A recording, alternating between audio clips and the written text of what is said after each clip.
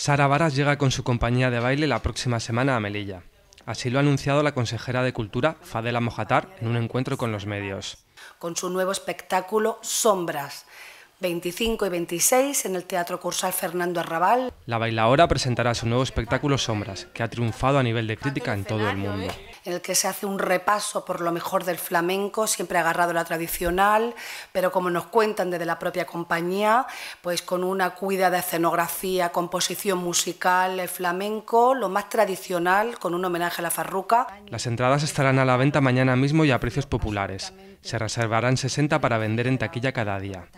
Además, Mojatar anunció que se está negociando para que puedan acudir personas que se hayan quedado sin entradas al ensayo general. También explicó que desde la consejería siguen trabajando para que Melilla sea declarada Patrimonio de la Humanidad.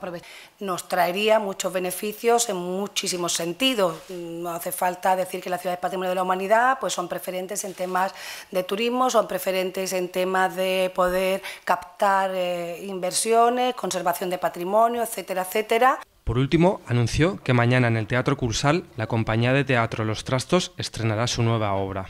Que es la culminación o que es una de las partes del trabajo terapéutico que hacen con las personas que tienen algún tipo de, trastorno mental. Aunque son personas con trastorno mental, tienen unas capacidades y tienen un entusiasmo que son dignos de elogiar y el resultado pues lo veremos mañana. Lo veremos, eh, a que invitamos a todos a que vengan, que se quede chica esta sala.